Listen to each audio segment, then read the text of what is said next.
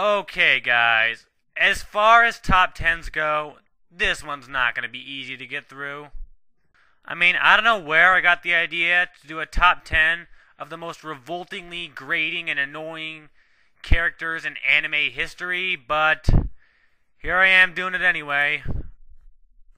I mean, yeah, comedy that's a little annoying is one thing, but the characters on this list are so horrible, they just make you want to kill yourself.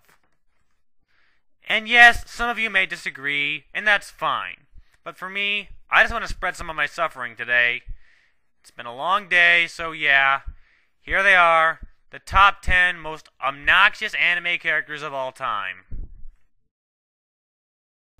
Number 10 Jennifer from this ugly yet beautiful world. Now, to be fair, Jennifer isn't bad all the time. She can be very compassionate and intelligent sometimes, and often comes up with hypotheses, as she calls them, to help the other characters out. Unfortunately, she does have one tiny problem that needs to be addressed. Hey! You saying my booze ain't good enough for you, huh? Ha ha ha! 70% of the time, she is drunk off her ass. And you know what the worst part about it all is?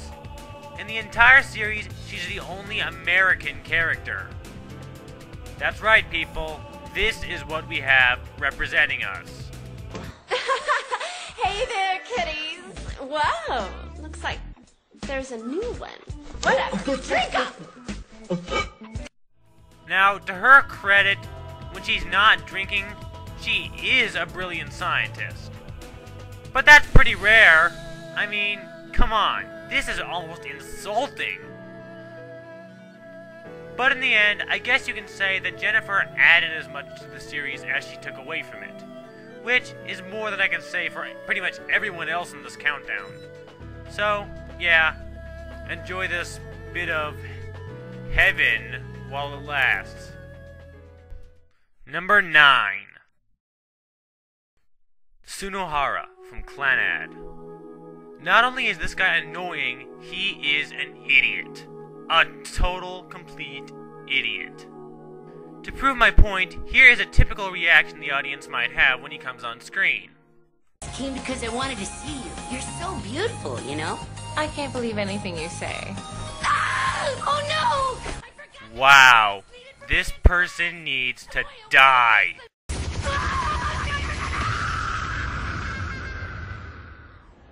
Oh, I guess all I had to do was say so.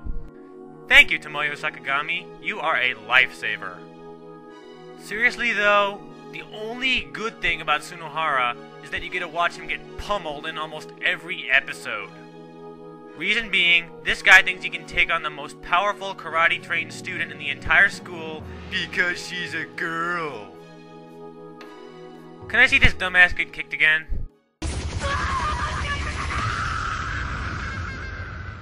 Number 8 Catherine from Kaze no Stigma. I actually didn't really like most of the characters in this series, but the one I hated most of all would have to be this little egomaniac here. This girl takes being full of yourself and turns it way up to 11. My name is Miss Catherine McDonald. Like you, my reputation precedes me.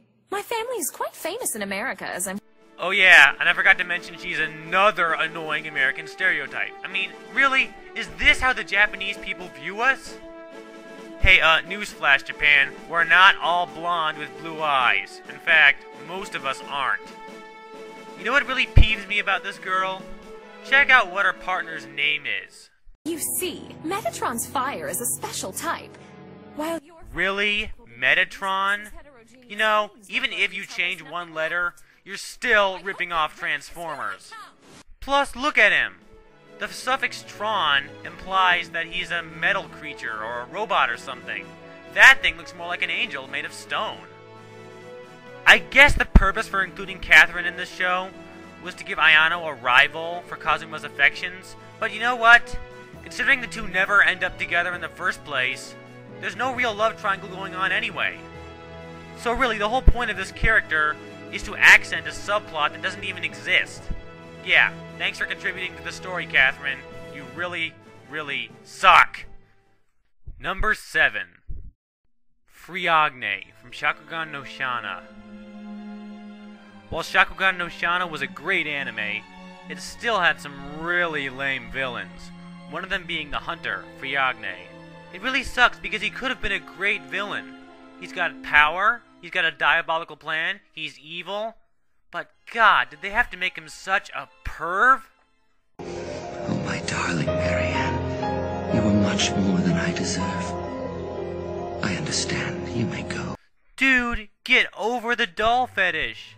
The worst part is, this guy has these weird fantasies about his minion doll in like five out of the first seven episodes. I guess you could say that Friagne is a totally different kind of annoying than everyone else in this countdown. While everyone else is like loud and obnoxious, Friagne is more like that creepy hobo who always smiles at you on the subway. But he's annoying just the same. And there's also the disappointment factor involved that this is such a good anime with such a lame ass villain in the first few episodes. I'm just glad they killed him off early. Yeah, I spoiled it. What are you gonna do about it? Good news is, though, Shakugan no Shana did get some good villains when the Bal Masqué came in in the later episodes. So, there's light at the end of the tunnel if you do choose to watch this anime. Number 6 Misa from Death Note. Okay, viewers, here's a recap on what the characters in Death Note do. Light kills criminals with a notebook by writing their names in them. L tries to catch Light and expose him for who he really is. And Misa sits around whining like a fashion model who didn't get her bowl of all red M&Ms at a photo shoot. Oh yeah, and she's Light's self-proclaimed girlfriend. My god, I hate this character. You know, I could be wrong, but what the heck has Misa ever done for this series? She advanced the story a bit, yeah, but she didn't improve it in any way. She's just another whiny little annoyance that they added to this great thriller for no real reason. I mean, they couldn't think of any other way to further the story outside of this annoying windbag. Why are you doing this to me? If you want me to kill her, just say so and I'll kill her. Yeah, you gotta admit, you have to be a champion of annoyance to make that line sound whiny. But be warned, the worst is yet to come in this countdown. If you really think you can stomach it, check out part 2.